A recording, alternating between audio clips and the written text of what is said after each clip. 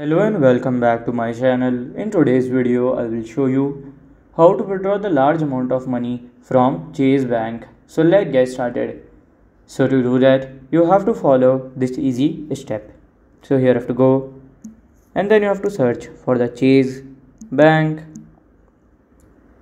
Then go to Chase website and from here you have to click on sign in and after there then you can just withdraw and it will be done so this is how to withdraw the large amount of money from chase bank. And if you find this video helpful make sure you like subscribe and share the video. Thank you for your watching